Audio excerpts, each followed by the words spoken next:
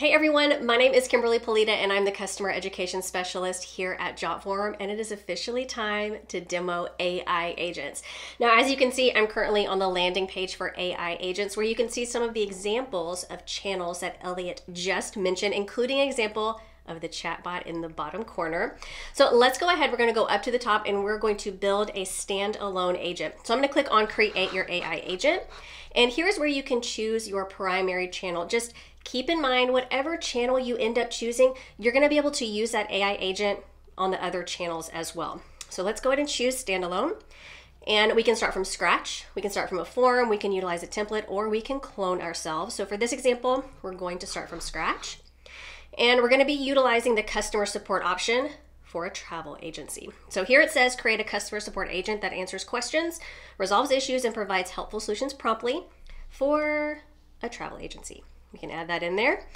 Now let's create, and we can see it's crafting our perfect agent. It's customizing those fields to fit our needs, building that intelligence, training our agent, and here is Luna, our customer support agent. Now, like I mentioned, over on the left-hand side, you can see all of those other channels that are available, but let's go ahead and start customizing our AI agent. Now, in the top right-hand corner, we're gonna choose that paint roller, which is going to be our designer, and it's gonna automatically land on the avatar gallery. Now, this is where we can change what our avatar looks like. So from here, we can do a quick search. So if you're looking for someone who's on the phone, who's holding a tablet, maybe a clipboard. We can do that here. We can even take a quick scroll to see if anyone jumps out that we would like to use. Now, if we go to the next tab, which is generate, we can type in a description that we want. So let's say instead of what she's wearing, we want a red suit. Let's generate that avatar. Perfect. So we are officially switched over to a red suit. And as you can see, since we changed, our name is now Alex. Or if you have a specific avatar you'd like to use, you can always upload an avatar here. Now, if I switch back over to gallery, I'm gonna change this back over to the first one and let me show you how face swap works. So down here at the bottom, we can see face swap. If I turn this on, we can choose an image. And now maybe it's yourself, maybe it's someone who is a part of your brand, maybe it's a mascot, but we can upload their photo. I'm just gonna go ahead and choose my JotForm picture. And let's go ahead and save and we can see down here that it's working. And if we watch her face, we should end up seeing it resembling me. And there you have it. Now, if you choose to not have that, all you have to do is just turn that off. All right, perfect. Now let's jump from the avatar tab over into the style tab. Now this is where we can change the entire color scheme of our AI agent. Now if we want, we can choose a preset one or we can make this our own. So the agent background style is going to be the section that's directly behind our AI agent. So for the start color, we can make it a little ombre. We can choose to be darker at the top and lighter at the bottom. And right down here, we have the agent name and role. This is gonna change this section right here. Now, if we keep scrolling down, we have our page background style. This is going to be what this standalone piece is sitting on. So if we change this, Right here, we can see the dark at the top and the light at the bottom. Now, if you have an image you would like to upload, you can do that here as well. All right, next we have the chat style, and this is going to change the color of the ch main chat area. So if we would like to make it more of a gray color, we can. Now, I'm going to change that back to white for now. And if we can change the font family, we can change the font color. So I'm gonna go ahead and make that a little different. And we can make that black. And we also have the button style, which is right down here. Now, lastly, we can change the layout for our agent. We can put them on the left side instead of the right. It just depends on what you prefer.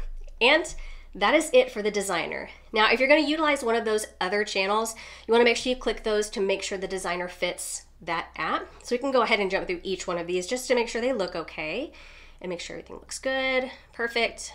So let's go ahead and jump into that middle tab, which is going to be the train tab. And I'm actually going to jump into that first one, which is AI persona. This is where we can change our agent's name and our agent's role. Now changing it here is also going to change it up at the top. So maybe we want her name to be Ashley and we want her to be a travel advisor. Perfect. Next we have our default language. So if we would like to choose another language, we can do that here. And we also have the tone of voice. We can choose from friendly, casual, or professional. And I think friendly is great for this example. And then we have our conversation style. This is going to be the chat response link. So we can either be minimalist, which is 10 to 50 characters, all the way up to chatty, which is over 250 characters. So you can choose however you would like. I'm going to go ahead and leave ours on short. And then we have some chat guidelines.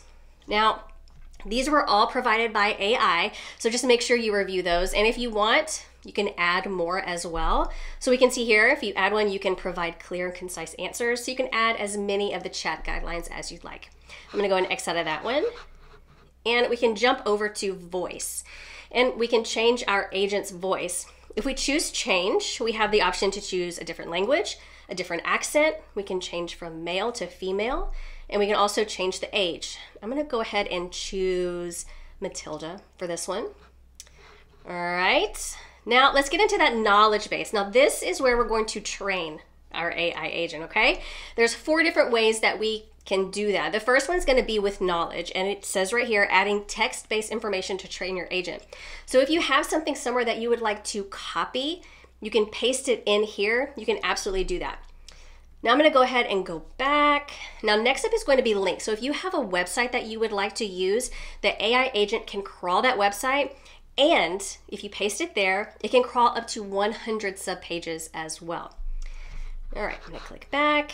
Now, if we have a file option, you can actually bring in a PDF or a DOP, and I have a PDF. Let's go ahead and bring in that. Is this gonna be our travel FAQ. And here's where we need to tell the agent how to use this document.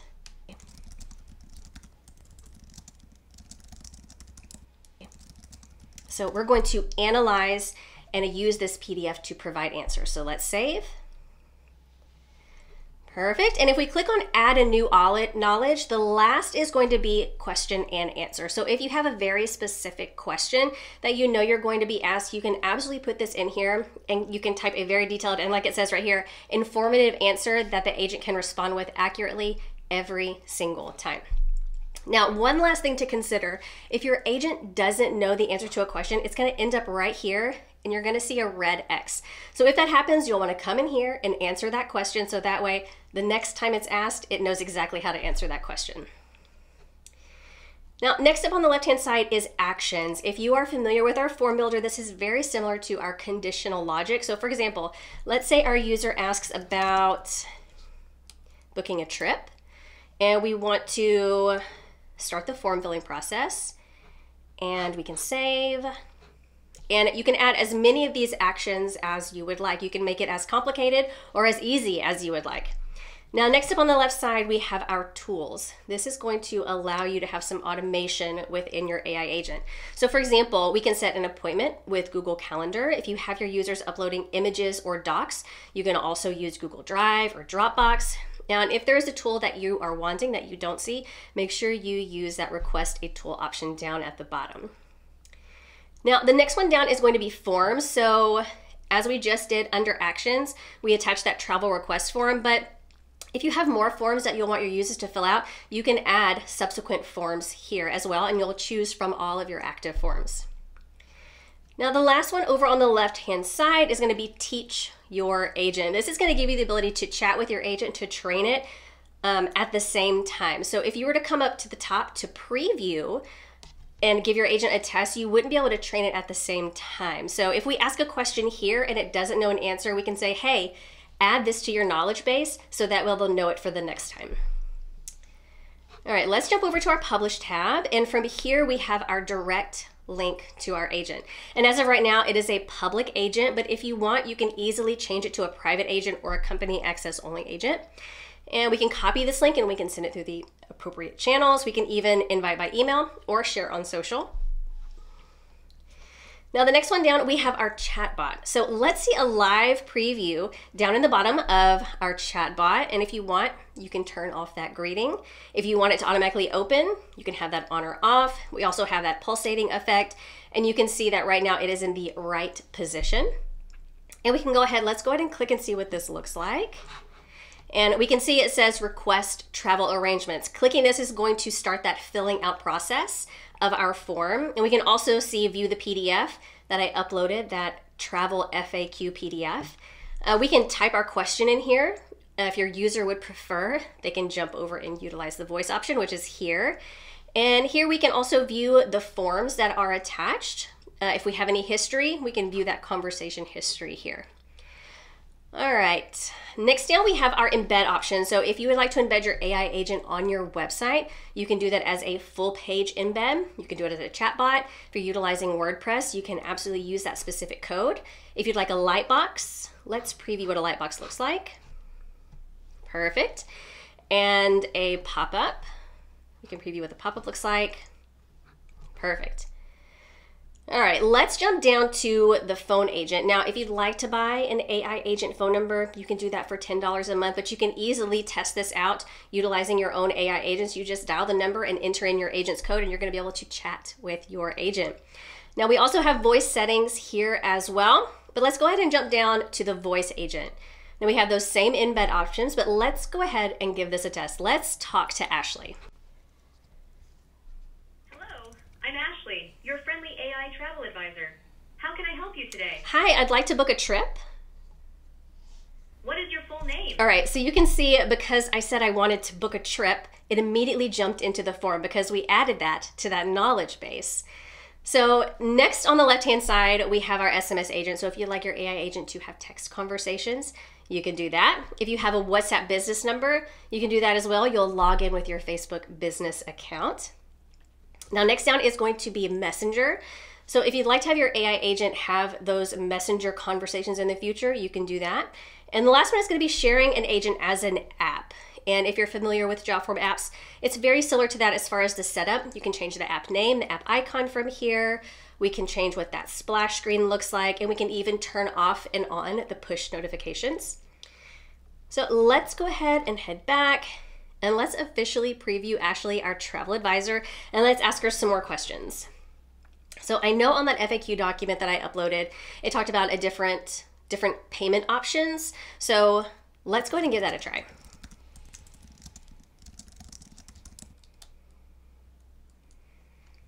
All right, that's perfect. Major credit cards, debit, and digital payment options. All right, let's go ahead and say, I'd like to book a trip. All right, now let's go and get started. Let's enter in our full name and our email address.